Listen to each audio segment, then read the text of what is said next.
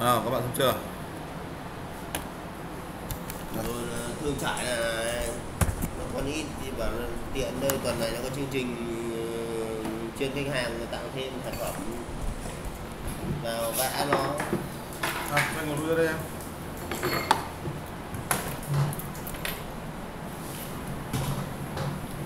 Vẽ được thì nó vẽ cần mười nhưng cũng không được. Bút chưa có những thanh vở được Đây, đây ngồi bên này cho cho vợ ngồi.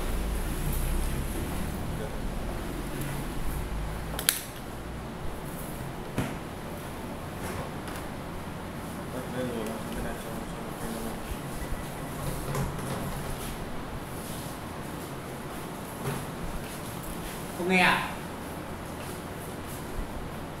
Xe nào? Đấy. Tôi xin chào các bạn Hôm nay là ngày ờ, mùng 1 đầu tháng Ờ, Như mọi ờ, công việc chúng ta vẫn làm hàng ngày Hôm nay chúng ta sẽ làm công đoạn 1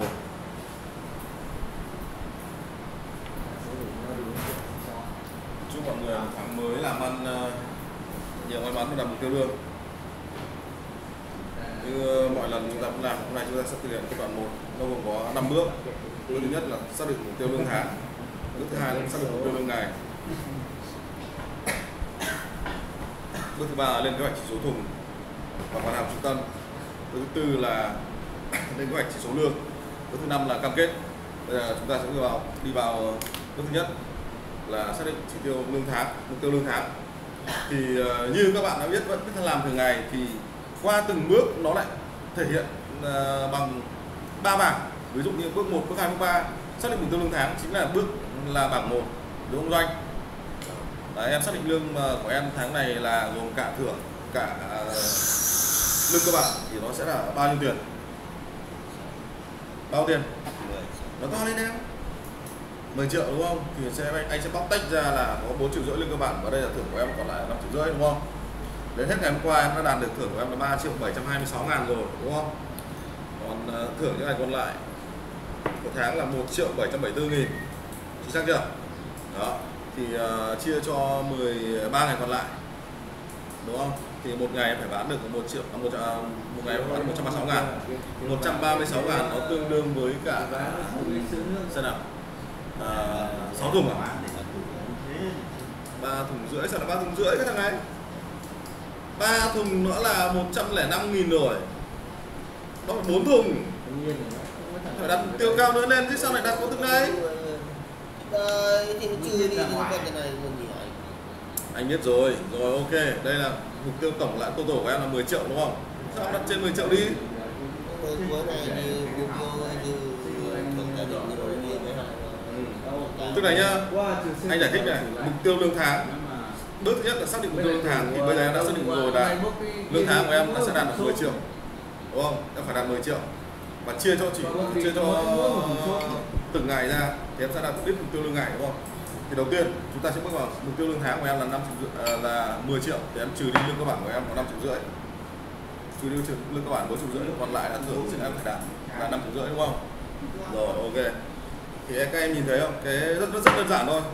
Qua từng bước thì nó lại thể hiện bằng chỉ số qua các bảng. Ví dụ mục tiêu xác định mục, tiêu lương tháng nó sẽ thể hiện vào bảng 1 đúng chưa xác định mục tiêu lương ngày xác định điểm bảng 2 đúng không? Lên kế hoạch chỉ số thùng và mặt hàng trọng tâm thì bảng 3 đúng không? Xác định mục tiêu lương lên kế hoạch chỉ số lương là tiền bảng 4 đúng không? Bước năm cuối cùng là cam kết thôi. Nó rất là đơn giản rồi. Đấy, ok bây giờ anh sẽ đi vào bước 1 đầu tiên là của doanh là xác định mục tiêu lương ờ, tháng này. Ok rồi này. Bây giờ đến xác định mục tiêu lương ngày Đấy. xác định mục tiêu lương ngày theo anh này nhá đấy coi nào. Bây giờ là vẫn đi theo cái tốc độ uh, như cũ thì em sẽ đạt được cái giả định thứ nhất. Vẫn đi theo tốc độ như cũ thì em sẽ đạt được 10 triệu tròn đúng không? Và thưởng ngày hôm qua em đã đạt được 210.000 một ngày rồi. Thưởng ngày hôm qua em đạt được 210.000 rồi đúng không? Thưởng ngày hôm qua thôi nhá. Là em đạt được 210.000 ngày rồi. Vẫn đi theo cái tốc độ đó thì em đạt được 10 triệu 956 ngàn. Đấy, bình quân của em là đạt được trong ờ, từ đầu tháng đến bây giờ là được 287 nghìn một triệu ngày đúng không? Tức là thưởng bình quân đấy. Là em đạt 200, 2 triệu, à, 287 nghìn một ngày. Vậy thì em sẽ đạt mức lương là 11 triệu 952 ngàn đúng chưa? Và cách giả định ờ, số số 4 thì là em đặt ra là cái bằng cái thưởng trung bình ngày chia cho cộng lại chia cho thưởng uh, tức là trung bình ngày. Tưởng ngày hôm qua Ờ. trung bình ok. Cộng nó sẽ Ờ, là đây trung bình cộng của hai cái này đúng không? Nó trung bình cộng của hai này ra giả, giả định ờ, thứ tư. Ông rẽ vào đây đây. là mục tiêu mà em hướng đến rẽ vào đây. ngày hôm nay đúng không? Mục tiêu em hướng đến ngày hôm nay chẳng hạn. Nó là bao nhiêu đây? 350 ngàn viết nó rõ ra cho em đấy nhìn nhìn, số, chỗ này. Anh chẳng nhìn thấy số 3 hay số số 5 cả. Biết chán quá đây em ạ.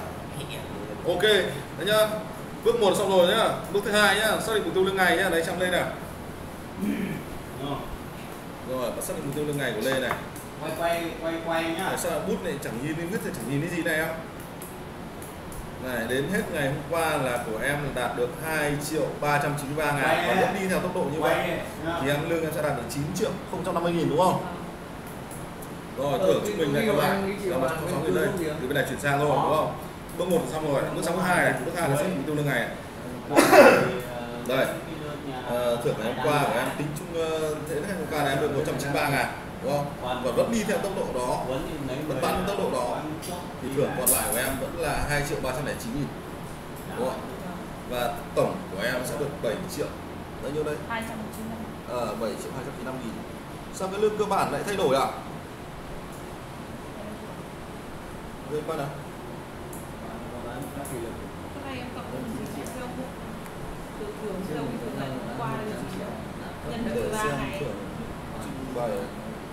vượt kỷ lục. Phá kỷ lục nào? Doanh và nhân lại của anh xem nào. Để xem mức thưởng trung bình. Trung bình lại chưa dám chưa dám mời suất lớn. Bây giờ mình phải mình phải không sợ bán nhiều bây giờ Cái này là 2509 cộng với Ờ, 23 bình thường mình đang bán ờ, được Hai năm. 3 triệu một ngày mình cứ mời Ờ. người ta luôn một nhà một suất 3 triệu hai năm không chín Mất 23 mất tiền mất đi thôi mình cũng mất gì đâu. Nhưng mà đương nhiên là 3 triệu để cho người ta cái gì? Đấy mình lên cái phương án. Trước đi ta cộng với một bản thì nó ra 9 triệu mấy 9 triệu một trăm cùng linh với 3 hai triệu Đấy chưa? Này chỗ này 166 nghìn một ngày lại thấp hơn cả 193 nghìn một cô ngày à, thêm cái mũ bảo hiểm nhá thấp hơn 193 nghìn là thế nào? Nhà đấy ghi lại chán quá đấy. Cộng mỗi chỗ này không cộng vào lương cơ bản đây bút đây bút đây bút đây. Này biết nhìn thấy cái gì cả. Này. Nó bị cộng đến cái chỗ này rồi sau này cộng bạn bạn cộng đến số ở đâu nữa? Cộng, cộng là, ý là cộng trên đi cùng em nhưng mà có không lấy cái số này ừ, cộng thì cộng hai số này ra số này. Ừ thế nhưng mà lúc nãy lại nhìn nhầm lại sang cái cộng cộng cái này Ừ. cộng vào cái này không? Ừ. qua vào chém gió chém bão Cái này là cộng với lương cơ bản cả. lý. Cấp cao làm được việc nọ kia hôm nay. Đấy 4785 cộng là lương cơ bản. 4902 cộng với lương cơ bản 9402 có cạnh một vùng ban nhưng mà em nhất quyết không Rồi. không bán đây em mới làm câu này chưa rồi, làm rồi. là trung bình gì đây Trung bình một ngày đã mà được qua chia Rồi. Đây là cái kiểu này không làm bán. của rồi mình. nhưng em biết cái tính cái cái, cái dòng này không Cái này em biết tính rồi ờ em nhìn dòng sang bên này này các lựa chọn thưởng của số 1 để nhân viên quyết định điều, điều lựa chọn là tốt nhất Đấy. nhà của cháu không phải lợi biết tính rồi đúng không Vâng tức là lấy nhìn này bán Đây, đây, 8 đây. đến 10 thùng sim hai ba chín ba Trong đúng điều rồi Chia cho 13 ngày mình sẽ làm việc rồi chính xác ra 184 đúng không? Ờ, ok Về tổng tổ đồ chúng ta đã sai tiếp này. À, đấy sửa lại đi là- thôi cứ sửa đi không sao cứ sửa đi trăm mấy cái rổ mà trăm ba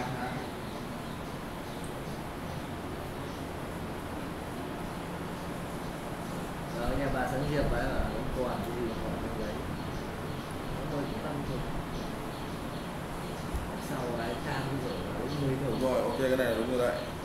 Anh nhìn qua cũng biết đúng không rồi cái thưởng giả định cuối cùng là giả định thứ hai là 210 nghìn một ngày. 210 nghìn ngày em chia cho 35 nên ra là bao thùng Được sáu thùng. 6 thùng đúng không Vâng, 6 qua thùng rưỡi, hôm qua em được 7 thùng.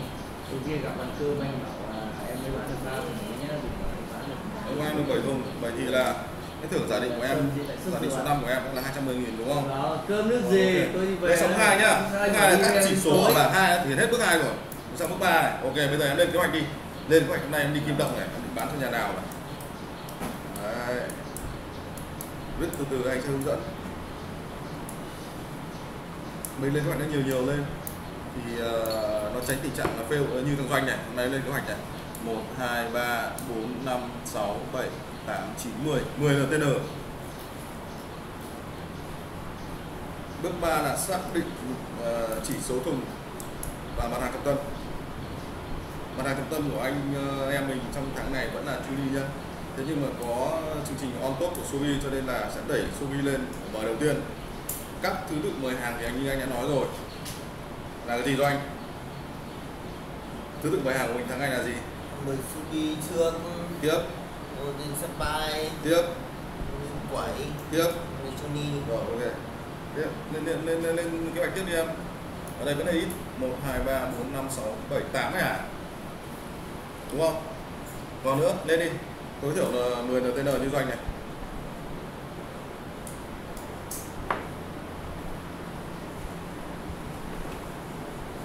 Tụi mình đi tuyến mình phải nắm chắc được cái tuyến của mình điểm nào yếu điểm nào mạnh. Mạnh chạy trước yếu chạy sau. Đấy là cái cơ bản. Và ai cũng phải biết. Bỏ ra cái năng ấy là nó cũng ấy rồi.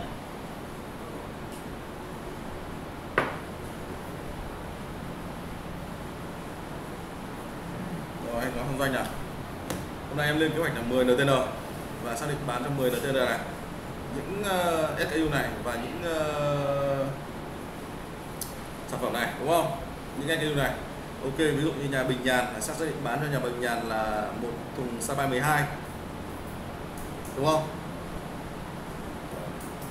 Thế còn Sobi còn uh, Sapa 20 còn Sapa 15 16 đâu? Sao không cho vào? Anh muốn hỏi cho anh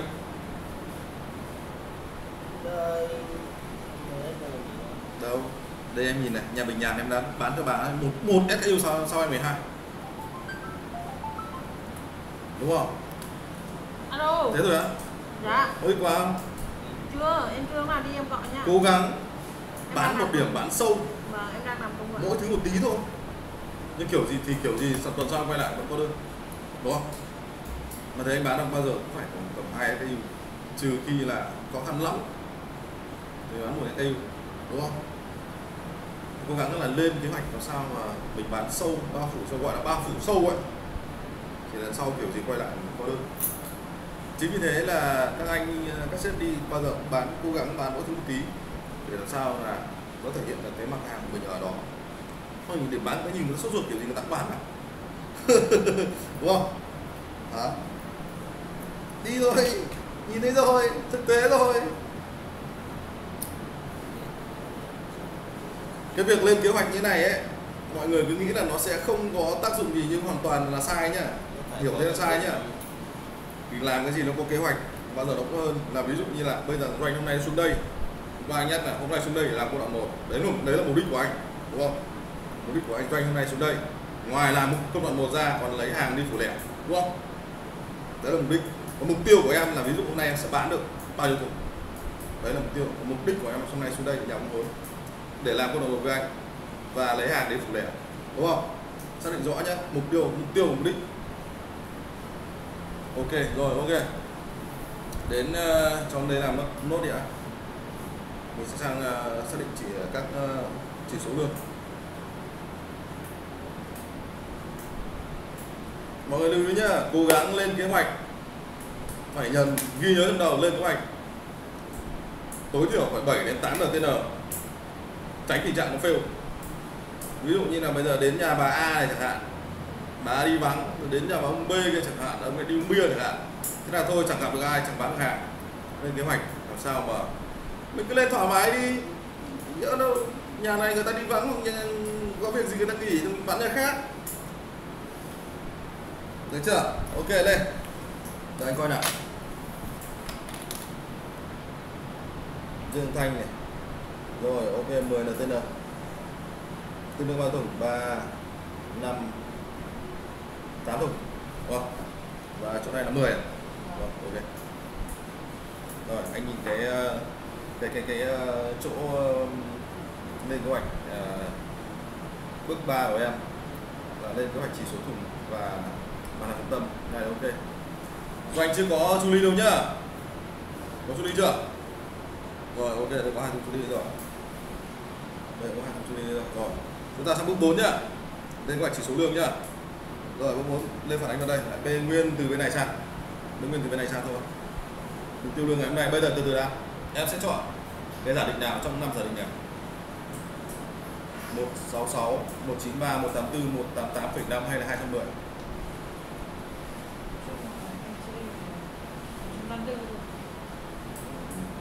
Thứ này hả?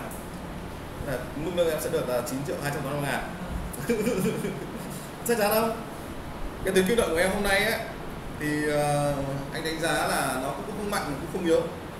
Cho nên lựa chọn cái ờ, giả định nào nó phù hợp và sát thực tế thì mình sẽ chạy theo là nó dễ hơn. Nếu mà giả định cao quá thì mình sẽ chạy bù một hơi đúng không? À, giả định là 184 ngàn đúng không? 184 ngàn doanh chia cho anh bao nhiêu thùng một ngày? Ừ, doanh chia đi. Tuần này là năm tuần tiêu còn cao cái này ví dụ em đặt chỗ này là 190 ngàn chẳng hạn đúng không? Tiêu 210 thì từ 210 cũng được. nó máu. Nó thách mục tiêu thách mục tiêu đề ra để thách thức chứ không phải để thách đố. Các bạn lưu ý nhé mục tiêu đề ra để thách thức chứ không phải thách đố. Lưu ý cái vấn đề đó. Rồi. Phản ánh đi. Cộng tổ cô bầu xuống chuyển sang bên này đi. Chuyển chưa chỗ này đi. Trong đây cái gì? Cái thằng này. Này. Chỗ này là thực hiện ra đây thực hiện rồi. Ok đây chuyển sang bên này rồi. Được chưa? Nhìn tất cả các thứ đi. Xem nào.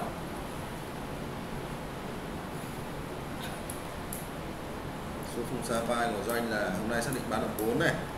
Số xuyên xác định là 3 này. Em cộng xuống dưới này. Cộng xuống dưới này Đấy, xuống dưới, xong hợp cộng cộng ra đây. Này chưa ghi ấy đây này Chưa ghi ưu tiên các thứ này.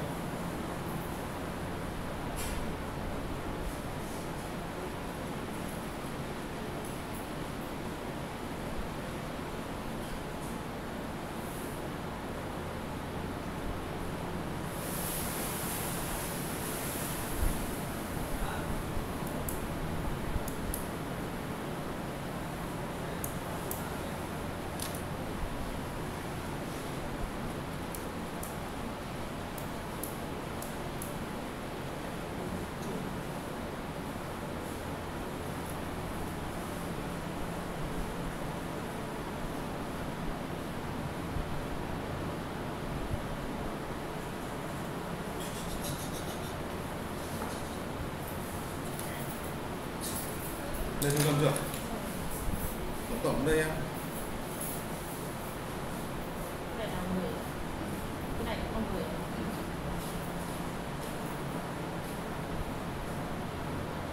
Rồi ok. Bây giờ sang bước 4 nha. Bước 4 lên chỉ số lượng. Đây Đây anh giải thích này Đây em chọn. Thứ nhất là em chọn cái uh, giả định số 5 Đúng không? Với mục tiêu lương ngày hôm nay là 210 nghìn Đúng không ạ? Ờ, với ờ, tương đương với cả 210 nghìn em chia cho 35 ngàn sẽ được ra bao nhiêu thùng một ngày? Ờ, em chia đi xem anh xem nào. Em chia đi thì em mới biết được.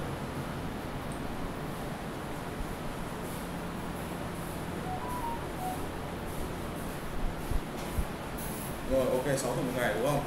Với ờ, 6 thùng một ngày và tương ứng với cả em sẽ bán là 3 thùng sa bai 3 thùng sobi và một thùng quẩy hai thùng chuli và mục tiêu em lên là mục tiêu đề ra là 6 thùng một ngày, nhưng sẵn em sẽ định bán cho 10 LTN với tương ứng với cả 10 thùng, đúng không?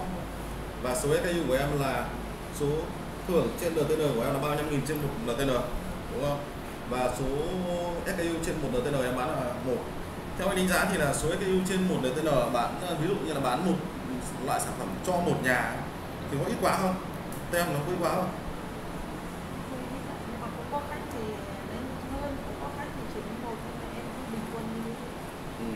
Cố gắng nhé như anh đã nói ban đầu ban đầu rồi là cố gắng bao phủ sâu, có nghĩa là bán nhiều mặt hàng cho người ta, mỗi thứ một tí cũng được. Thế nhưng mà để ờ, người ta nhìn thấy là à mặt hàng của mình, để người ta nhìn thấy là à cái mặt hàng của mình ở trên trên trong trong shop nó có nhiều, thì tuần này đến mình bán cho họ một ít, tuần sau về bán cho họ một ít, kiểu gì bao giờ, sang tuần nó cũng hết cả. Ví dụ tuần này em bán ba cái cho người ta mỗi thứ một tí, sang tuần kiểu gì cũng có đơn đấy, chắc chắn. Anh khẳng định với các em vậy cho nên là các bạn cố gắng bán làm sao mà nhiều SKU trên một điểm bán. Như vậy cái thưởng của mình sẽ tăng lên đúng không?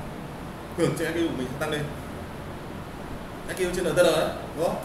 Nó sẽ tăng lên. Đó gọi là bao phủ sâu thì uh, các bạn đi bán hàng rất hay có, có cái, cái sợ cái tâm lý là không có đơn này kia. Mình cố gắng bán như vậy thì làm sao là chắc chắn mình sẽ có đơn nếu có thật sau mình quay lại. Yeah rồi ok bây giờ sang bước năm là cam kết nhá. Với cái uh, con số mà doanh đưa ra ví dụ đến uh, doanh đưa ra là 350 ngàn 50 ngàn đúng không? Mục tiêu lương ngày hôm nay là của em 350 nghìn đúng không? Và em xác định bán cho 10 LTN và bán những sản phẩm như ra như sau. Savai 4 thùng này Subi 3 thùng này quải một thùng và Chuli hai thùng đúng không? Vậy thì uh, cái tuyến tự động của em ngày hôm nay có khả năng. Hoàn thành mục tiêu lương không? Có khả năng. Có khả năng hoàn thành mục tiêu lương không? To lên em. Có. Rồi ok. Lên vậy tương tự như vậy đối với lên. Cái này như tuyến kim động mục tiêu lương của em đề ra là 210 nghìn tương đương với cả 6 thùng. Và em đặt mục tiêu là cho 10 LTN đúng không? 10 LTN và mỗi một mỗi một LTN tương trung bình là một thùng. Vậy thì uh, em thấy cái việc kim động của em, khả năng hôm nay có đạt được mục tiêu lương 210 nghìn không? Ok, cam kết thực hiện nhá. Rồi, ok.